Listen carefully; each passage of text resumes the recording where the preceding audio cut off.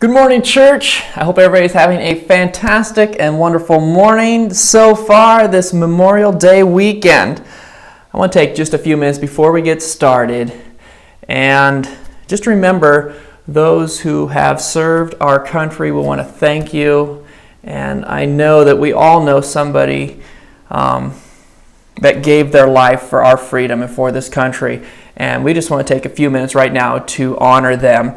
Uh, also, honor our uh, fire department and our police department and our other services, our medical team, and all those who I know just work so hard to make our country great. I want to honor them this morning. And also, I know that during this time of COVID, there have been people who have lost loved ones. And I know the challenges and the struggle I've seen of not being able to uh, be with them at this end of life. So we're just going to take a couple minutes or a couple seconds here and just honor them and pray for them this morning. Father, I just, we thank you that we live in a free country. Lord, and we thank you for those that serve our country and our nation and those that have lost loved ones, Lord, defending our country, Father. I pray that you just bless and minister to those families, God. And I also pray for those that have lost loved ones during this time of COVID and quarantine. And I pray that you just encourage them now as well. Help us never to forget those that gave their life for our freedom. In Jesus' name. Amen. Amen. Thank you so much, everyone who has served our country. Uh, this morning, I know I'm, I'm in a side room, and this actually is our old library. And so we have been doing a ton of work here around the church. We have, uh, I want to thank Jerry and Glenn who came in, and we've replaced a ton of lights. So we have some new lighting in here. I know it's kind of hard to see in this corner, but if if you haven't been in the church while this whole wall and corner used to be covered with books we've now moved them to the next room over and have a uh, want to thank margene for all of her all of her time margene i know that was a lot of work and, and you worked tirelessly so thank you so much for uh, for being a, a, servant and faithful and doing that it looks fantastic and so I just wanted to come into this room. I know it's it's echoey, and I, I do apologize. Um, but, you know, God is doing some really amazing things. And, and uh, it's fun to see what's happening here at the church. And I know you guys are going to be here with us soon, too. Uh, we just now are in phase two. And that gives us just a little bit more freedom. I also want to thank a big shout out to Titus, who came in this week as well, and he worked on our sound booth. We made that a little bit bigger. We're going to get that finished up hopefully this next week. And we are so excited about hopefully, hopefully getting back in this building soon. Now, I do want to touch on that just a little bit because I know we had uh, our President, President Trump, said that churches are essential, as I believe they are. And coming together and praying and worshiping and being the church together is essential.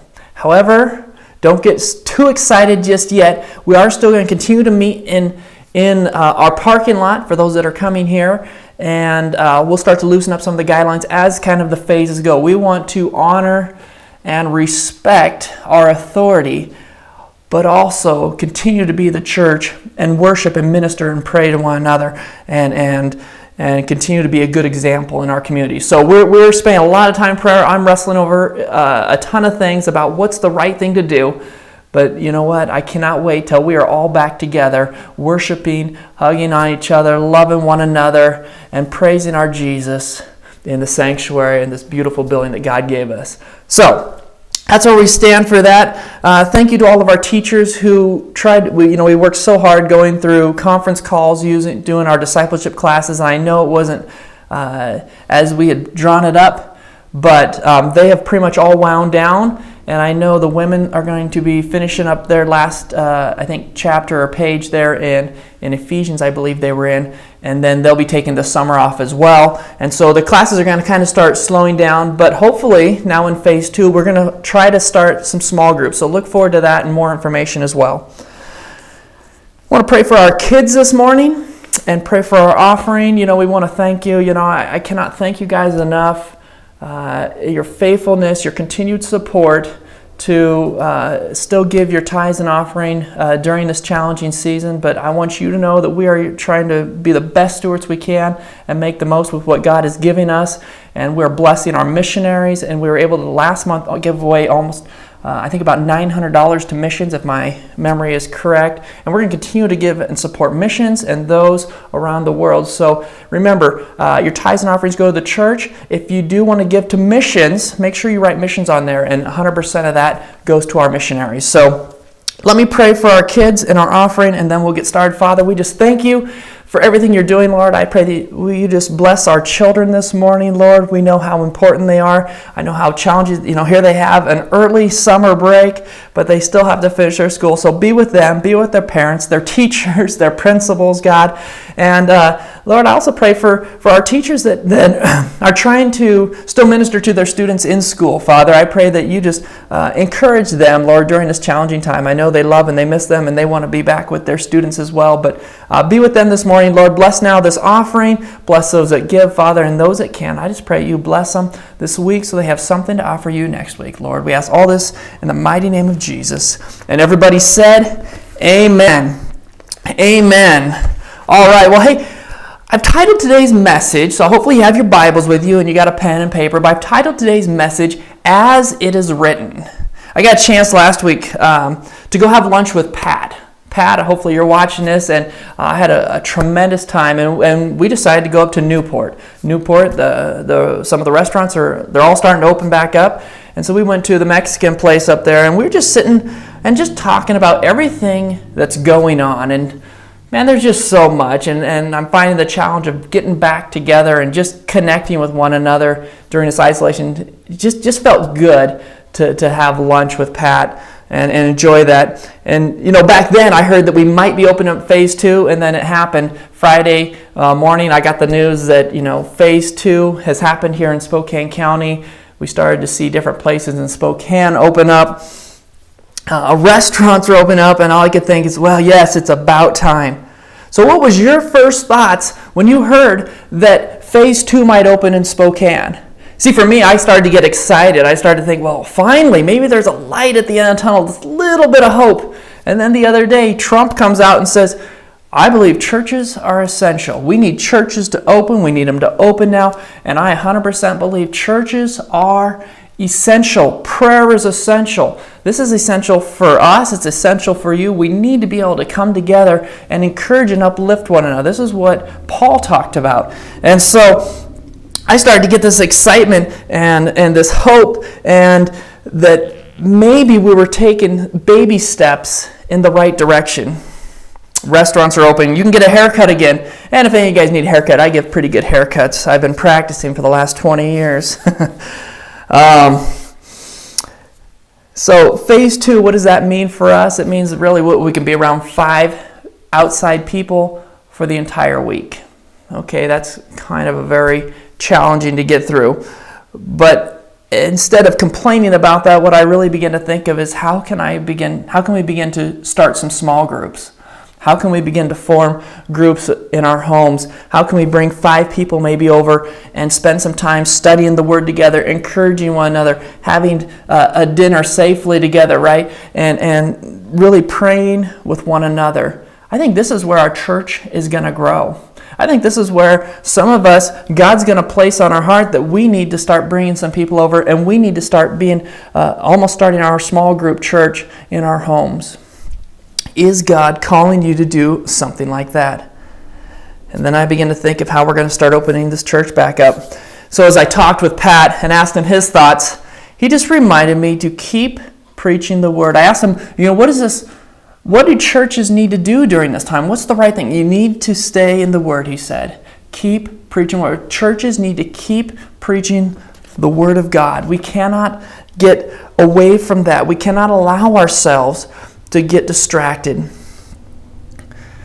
So, I know the million dollar questions when are we going to be back inside the building? And I don't have a great answer for that, but the answer is we're going to continue to keep an eye on what the school's doing. We're going to continue to keep an eye on what other businesses and similar um, venues like ours are doing. Uh, number one, we want to be safe. We want to keep you guys safe, and we want everybody to come and worship. So we are going to keep doing outdoor service. I will continue even after the church opens to do online services. I, I do enjoy getting a chance to come and preach and talk to you guys, and and, and I really do also start to see an online community grow. So thank you for being here, and let's get to go. I know a lot changed from week to week, so I don't want to make any promises.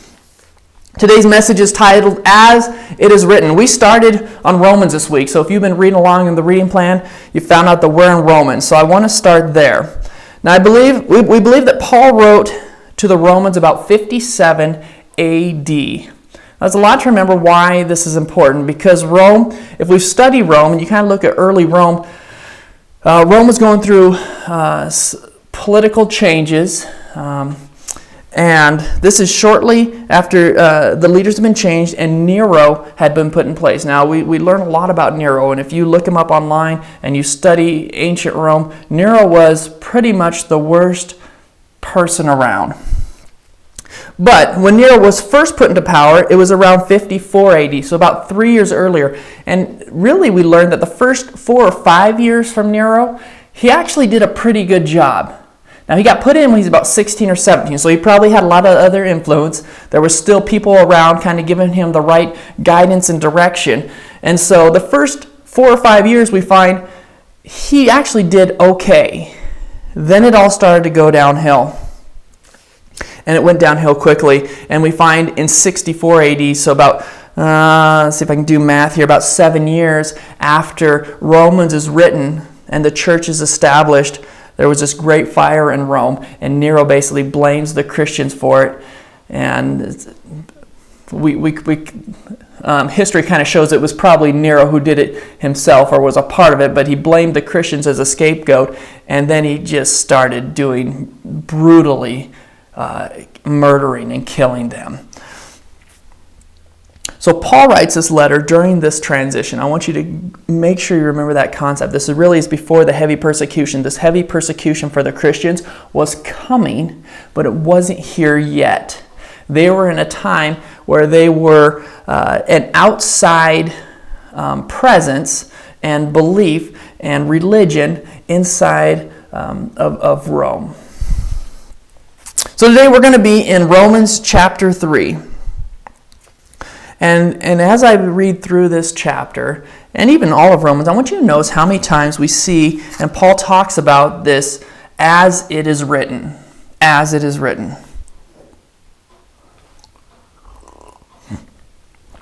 All right, here we go. Here we go. Romans chapter 3, starting in verse 1, it says, What then what advantage excuse me, has the Jew, or what is the benefit of circumcision? Always the great debate between Gentiles and Jews. It says, Great in every respect, first of all, that they were entrusted with the oracles of God. What then if some did not believe? Their unbelief will not nullify the faithfulness of God, will it? Um, may it never be. Rather, let God be found true, though every man be found a liar as it is written, keep that in mind, that you may be justified in your words and prevail when you are judged. But if our unrighteousness demonstrates the righteousness of God, what shall we say? The God who inflicts wrath is not unrighteous, is he? I'm speaking in human terms. May it never be, for otherwise, how will God judge the world? But if through my lie the truth of God abounded to his glory, why am I also still being judged as a sinner? And why not say, as we are slanderously reported, and as some claim that we say, let us do evil that good may come? Their condemnation is just. What then? Are we better than they? Not at all. We have already charged that both Jews and Greeks are all under sin. As it is written, there is none righteous, not even one. There is none who understands. There is none who seeks for God. All have turned aside. Together they have become useless. There is none who does good. There is not even one. Their throat is an open gate. With their tongues they keep deceiving. The poison of asps is under their lips, whose mouth is full of cursing and bitterness. Their feet are swift to shed blood. Destruction and misery are in their path, and the path of peace they have not known. There is no fear of God before their eyes. Now we know that whatever the law says, it speaks to those who are under the law, so that every mouth may be closed, and all the world may become accountable to God. Because by the words of the law, no flesh will be justified in his sight. For through the law comes the knowledge of sin.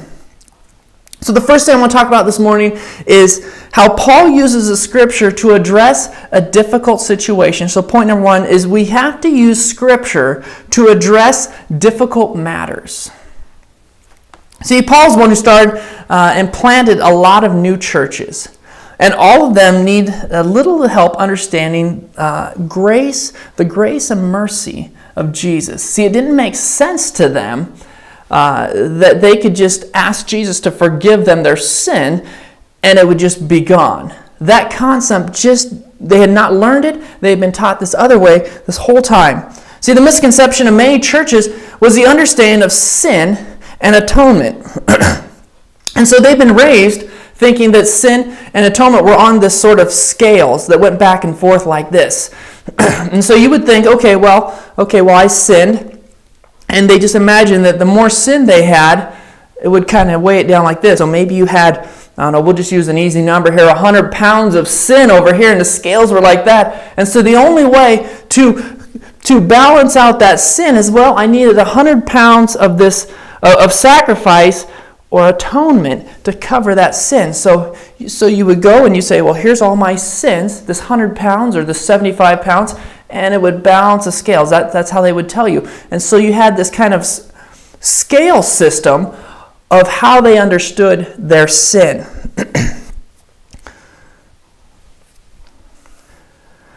so, how did they determine sin or unrighteousness? Well, it all came from the law.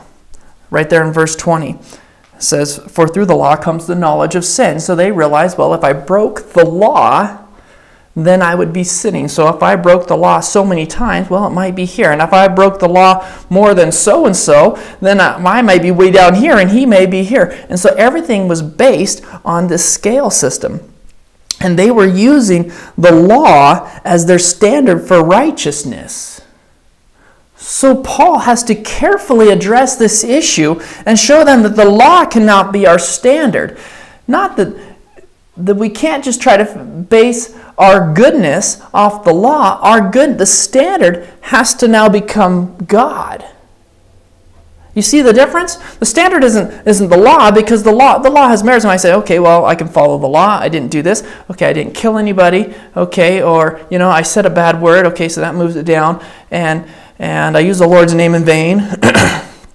and I looked at my neighbor's wife or, or all these things and we can kind of put a standard. But when it's compared to God, it's not like it's a hundred pounds. It's like it's like a billion pounds.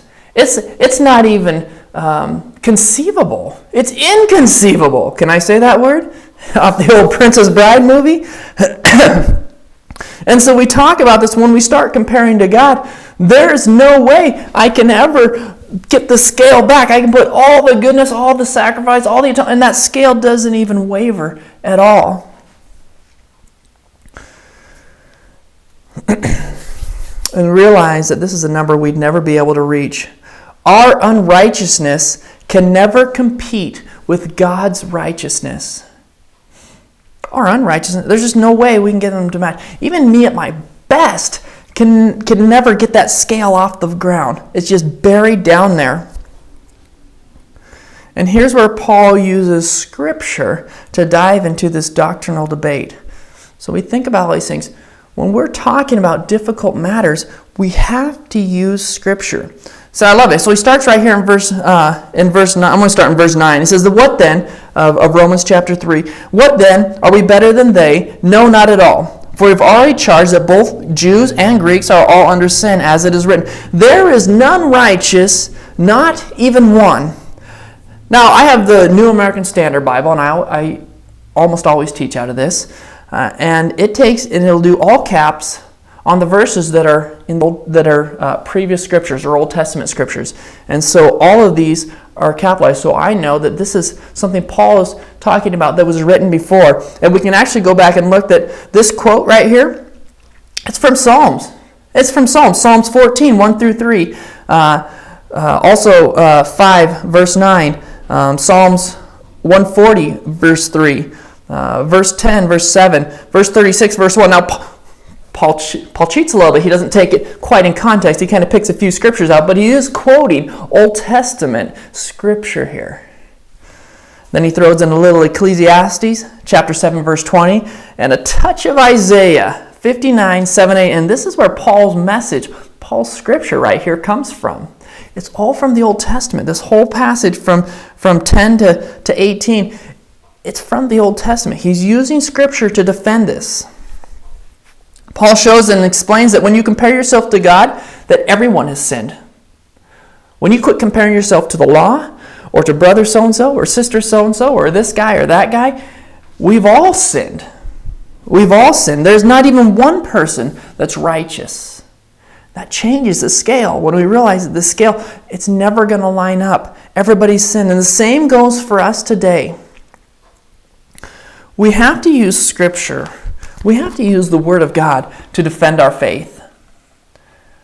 I know there's a lot of stuff going on, and we get into a lot of interesting conversations, and I know I can share my opinions and my thoughts with people, but I, what I really need to do is share the Scripture. I know there's a lot of great teachers, a lot of great books, a lot of great YouTube videos, but what I need to do is I need to use the Scripture. So when you're talking to people about a difficult matter, don't just try to convince them. Don't try to say, well, hey, here's what I believe. Here's why you need to do this. All these. Show them what it says in the Word of God. Show them what it says in here. do you know what it says in here? Is it just your opinion you formed? What does the Word of God say? And when you're defending your faith, and when you're defending difficult matters that the world believes and thinks, show them in the Scripture what the Bible says, what the Word says. Then you say, hey, well, that's what God says.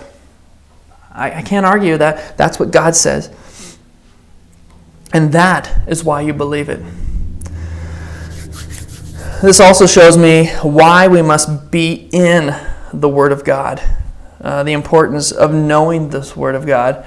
I began to think as uh, Margene was in here moving all these books, and I have, I have probably five or six Bibles in my office, and there was probably another 20 or 30 Bibles in the libraries. They moved them over, and I just began to think do I take Bible, the Word of God, for granted? Do I take holding this in my hand for granted? I have everything I need on my phone or the internet. What if I lost that? What if I lost? Did, did you guys watch the video from Pastor Gary Emery? Remember, he, uh, he made a video for our church specifically, and it's on our YouTube channel. Um, and so you, you can go find it, look at it. And I watched that, and I watched it, and it, it was fantastic. And I watched it from a pastor's, preacher's point of view. And I'm thinking, oh man, he didn't have his notes like I have here to kind of keep me on track and remind me of what my points are. And even more so, he didn't have this Remember, Pastor Gary's gone completely blind. He didn't have the Word of God to hold up and read and, and put this message together and then write it all down and then get on the internet and research. Everything he taught and everything he teaches now, it's up here. It's because he knows it, because he hid the Word of God in his heart. He valued the Word of God. That stuck out to me a ton, just thinking that here's Pastor Gary one of our leaders, an open Bible here. And he hid the Word of God in his heart. He knew the value of the Word of God. Wow. I try to imagine what it'd be like to, to prepare and preach if I was blind. I don't know how far I would get. I know a lot of scripture, but man, I just I don't have it all memorized and then it really challenged me. I need to hide God's word in my heart. I need to start working on that.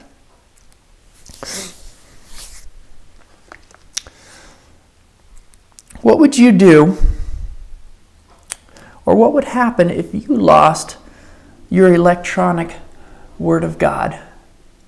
Your electronic resources. What would you do?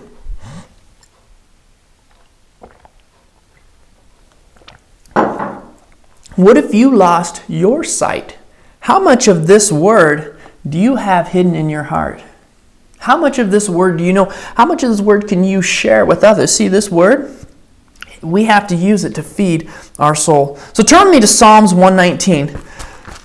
We're going to be coming back to Romans 3, so don't, don't lose that too much. But turn me to Psalm 119.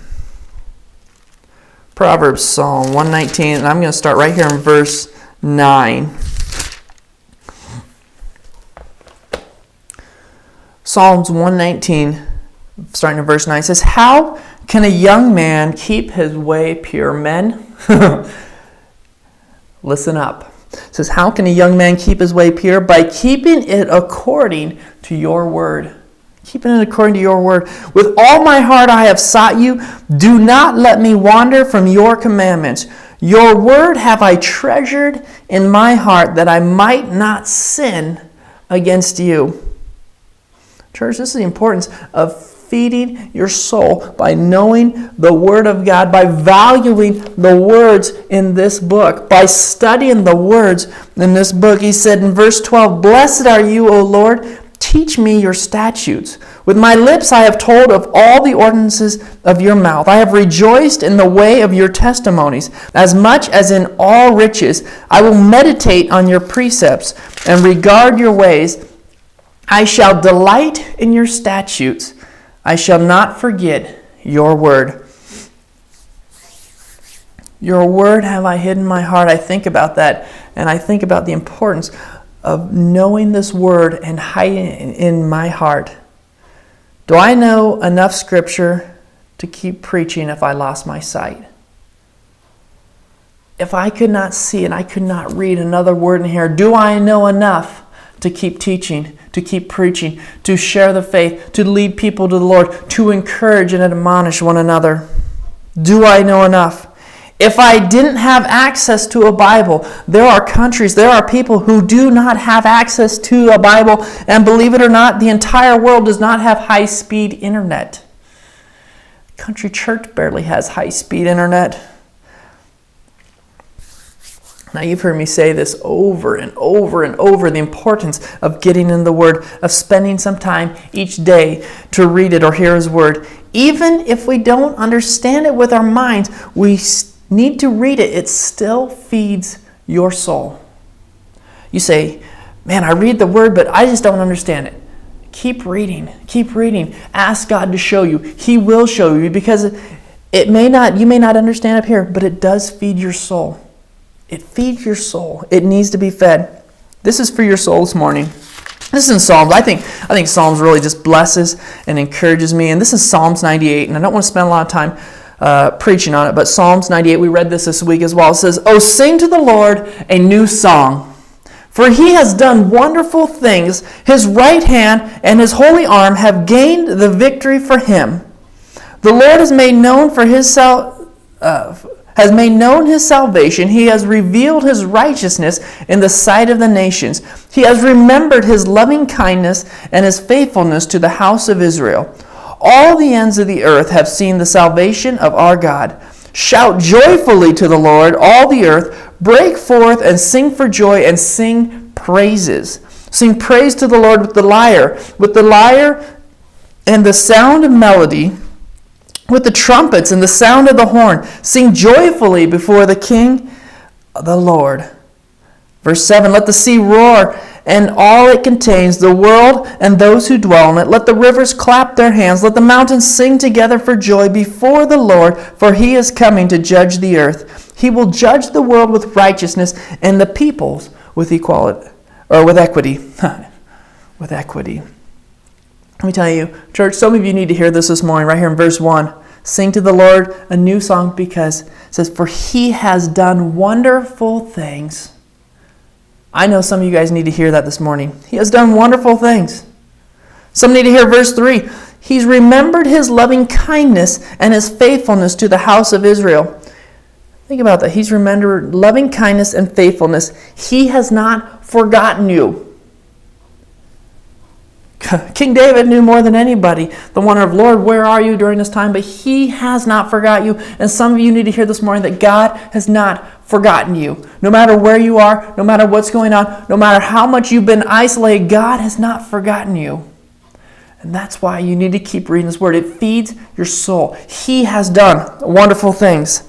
Verse 5, some of us need to hear this Sing praises to the Lord with the lyre. The lyre is not a liar, like someone who doesn't tell the truth. The lyre is more like an instrument, like an electric guitar, maybe. A little bit of distortion. It says, Sing to the Lord.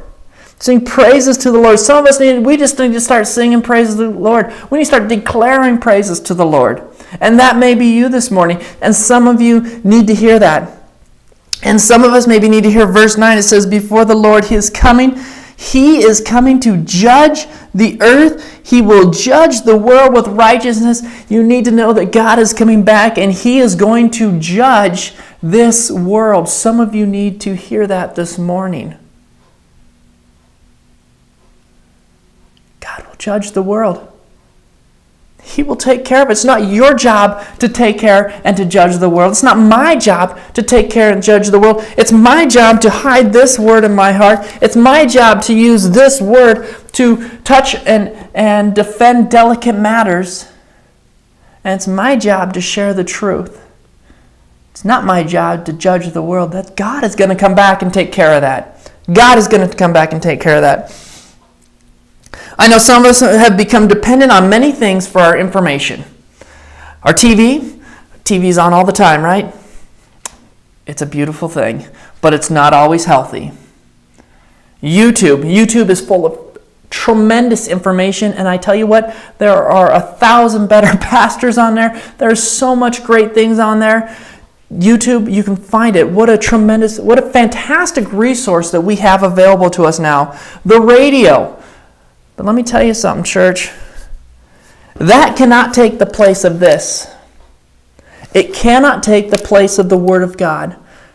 I cannot watch a great pastor on YouTube. You cannot sit here and watch me preach to you and say, well, that's good enough for me for the next week. You can't go to the buffet at Golden Corral on Sunday and then starve yourself the rest of the week. It doesn't work that way.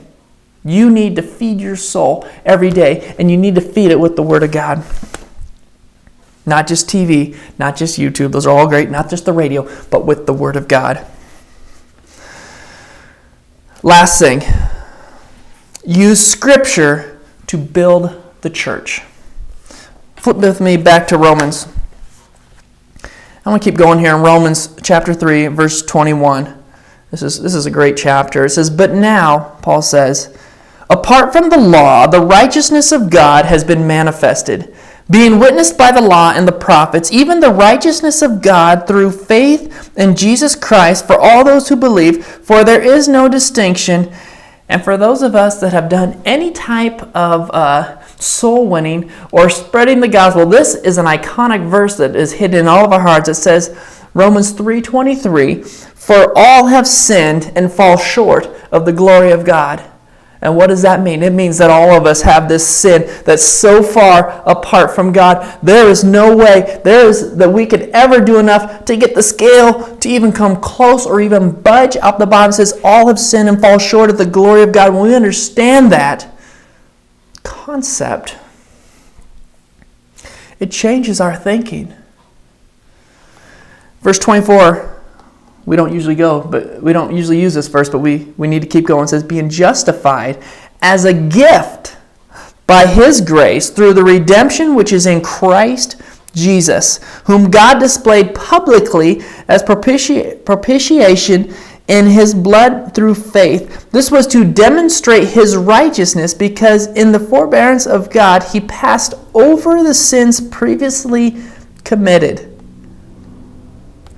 He passed over the sins previously committed for the demonstration, I say, of his righteousness at the present time, so that he would be just and the justifier of the one who has faith in Jesus. Where then is boasting? It's excluded. By what kind of law? Of works? No, but a man, or but by a law of faith. That's a whole other teaching, a law of faith. It says, For we maintain that a man is justified by faith apart from the works of the law. Or is God the God of Jews only?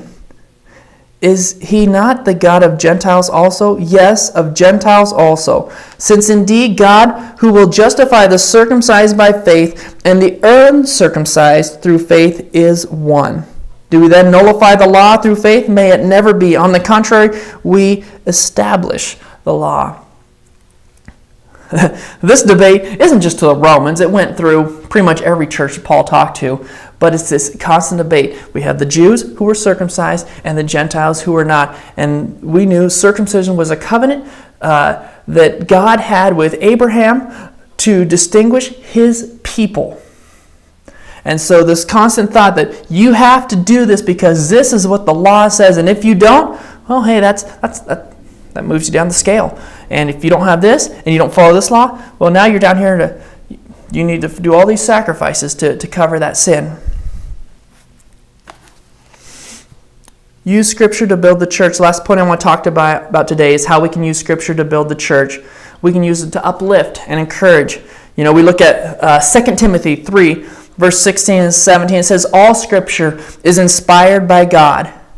That's another one we use all the time, right? It's profitable for teaching, for reproof, for correction, for training in righteousness, so that the man of God may be adequate, equipped for every good work. So we use the Word of God to build each other up. I use it to encourage you, to not give up, to keep going. That's why I just read in Psalm some. Um, we use it, it gives us a standard to live by. There are still rules we need to follow.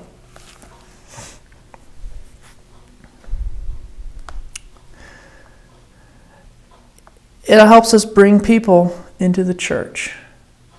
It helps us share the need of a Savior. The book of Romans was addressed to the saints in Rome. This was addressed to the believers that were already there in Rome. You find that right there in uh, chapter 1, verse 7. Paul's using the scriptures to teach the things of God. The same goes for us. We cannot stray from the Word of God. We cannot just form our own opinions and think, well, that makes sense to me, so it must be true. We have to stay in the Word of God. What does the Word of God say? Today I want you to look at verse 23 and 24. And this is we use this all the time. We have all sinned and fall short of the glory of God. And if you're watching this today, the Bible says we have all sinned and fall short of the glory of God. There's no reason we should be able to talk to God. There's no reason we should be able to be in His presence because we've all fallen short. This in verse 24 is how we're able to do that. Being justified as a gift by His grace. This is what allows us to be in His presence. This is what allows us to go to the Father, is this gift that He gave us. This shows us the need that we have for a Savior. And now, when I think about that scale of sin and, and, and unrighteousness, we learn that Jesus doesn't make the scale balanced. So I, I want us to grasp this concept that you know, sometimes we, we like to rank our sins. We say, well, I lied, but it wasn't that bad of a lie, so maybe that's, a, we'll use five pounds of sin. But, you know, so and so, they killed somebody. That's, that's like a 100 pounds of sin. And so and so, well, they stole. Well, that's, I don't know, 75. So we start rating all these sins, but you see, God says, no, He says all of sin and fall short glory God. So it doesn't matter whether it's five pounds or it's 500 pounds. To God, it's like a billion and it's on the floor, and then there's no way it should ever matter. But what does he say? He says, The grace of God. And God doesn't just say, Well, you have a billion pounds of sin, so I'm just going to make it. It's, it's like he takes that sin, he takes it off, and, he, and he, he just tosses in the trash. That scale's empty. Not that he remembers what happened. That scale is empty. The sin isn't just balanced out, that sin has been removed and taken away. That is what Jesus has done. That is the difference. When we start to understand this, this, this balance of sin and law and grace and, and, and all these big words of righteousness and unrighteousness, and we realize that God said, Listen, you asked, let me take that from you. It's completely gone. All of it. It's not here to be brought back and reminded of your past and the sins and the failures and everything that's happened. God doesn't just, just kind of keep waiting and say, hey, you remember when you did that? He said, no. there's nothing, that scale's empty. Well, I might start again today. Man, it's starting to weigh down. And he says, no, no, come to me. I got it. I got it. That is the gift of His grace. It's a gift that He gives It's Nothing we can earn. We have to understand we cannot earn our salvation. We cannot be good enough. We cannot earn our way because we are so far apart from His righteousness. We cannot do it. Now we can begin to understand what it means in verse 28 when he says, We maintain that a man is justified by faith apart from the works of the law. It's our faith. We're justified through our faith. Has nothing to do with the works, has nothing to do with the law. As it is written, I want to encourage you guys today the importance of the Word of God, the importance of this book. These scriptures, they're more than just a great book. And yes, there's a lot of great stories. There's a lot of things that make us feel good. There's also a lot of things that we can, you know, really uh, tell people and, and cram down their throat. It's so much more in the great book. We cannot take it for granted. We have to cherish and hide these words in our heart. And when we start to talk about difficult issues and people start asking us questions about what we should do and what we shouldn't do and what's right and what's not right, what does the Word of God say? And don't use the law as your standard, use God as your standard. When our soul feels down, we need to use the Word of God. We need to look at the Scriptures when we're ministering to one another, when we're helping comfort and bring one of people, people through a difficult time, or we're comforting people. We need to use the Scripture. When we're sharing the gospel, we need to use the Scriptures. The Scriptures have to be our guide. Like my friend Pat said, stay in the Word. I want to ask you guys just a few questions in closing. I really felt God put this message on my heart the importance of the Word of God, and not that we've forgotten about it, but we need to make sure we continually are reminded the importance of the Word of God. Stay in the Word.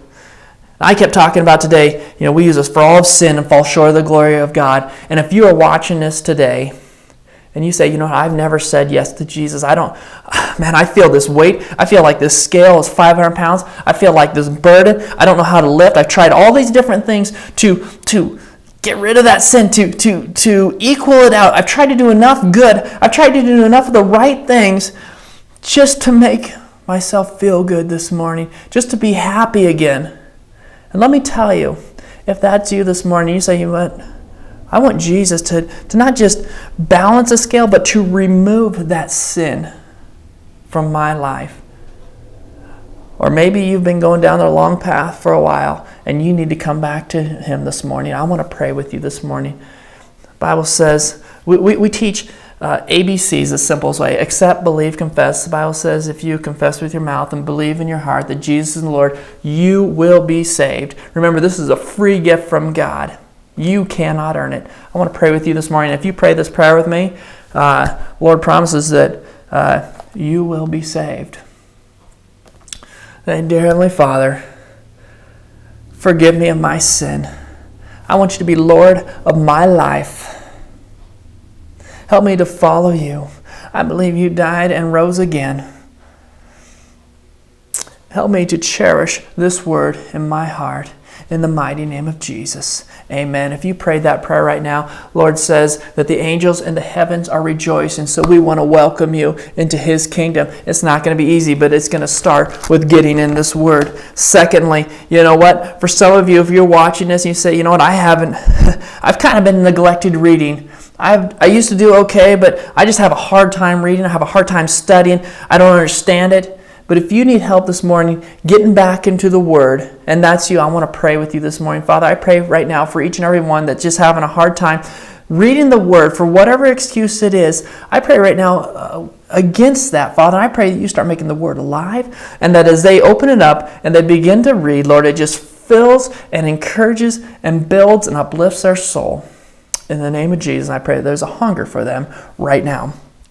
And finally, if you would like God to help you use this word to build his church, some of you may be called to go and share the gospel. Some of you may be called to call a friend and to read them some scripture or email or write someone. We still do that. And some of us, you know, hey, we just uh, maybe maybe God's calling you to start a small group during this time.